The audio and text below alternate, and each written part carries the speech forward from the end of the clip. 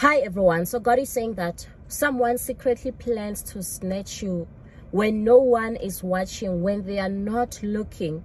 He plans to snatch you. You know, to snatch is like you are grabbing someone, you are grabbing someone and living with them, or you are taking something from someone and living with it. So, God is saying that this is what is also going to be happening in your life. Your life is going to be snatched. You are going to be snatched. You are going to be taken in the mighty name of Jesus when people are not even expecting it. The same thing also happened to Peter later, when you read in the book of Acts, chapter 12, verse 6, the Bible says that that night before Herod was to bring him to trial, Peter was sleeping between two soldiers, bound with two chains, and sentries stood guard at the entrance. Suddenly, an angel of the Lord appeared, and a light shone in in the cell. He struck Peter on the side and woke him up. Quick, get up, he said. And the chains fell down, fell off Peter's wrists. And then now Peter began to follow the angel.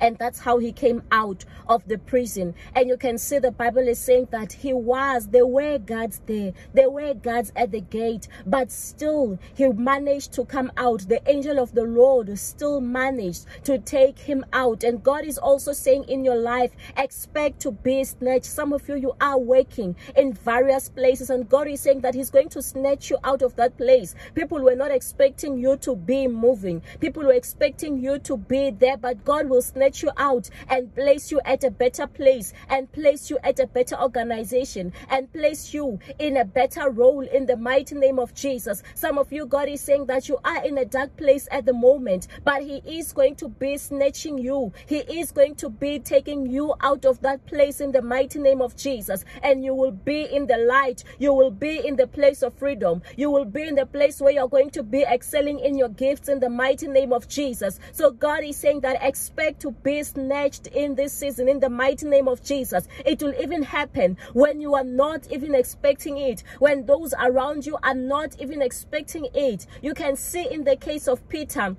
no one saw it coming. Herod did not see it coming. The guards did not see it coming. That is why after it happened, the guards could not explain what had happened because they could not see it coming because they were prepared. They were heavily armed, but it still did not work because of the mighty force. So God is also saying that this mighty hand, it is upon you and no one is going to block him. No one is going to block what the Lord wants to do in your life. No one is going to block what the Lord wants to place you in your life. He wants to place you at a better place in the mighty name of Jesus. Amen.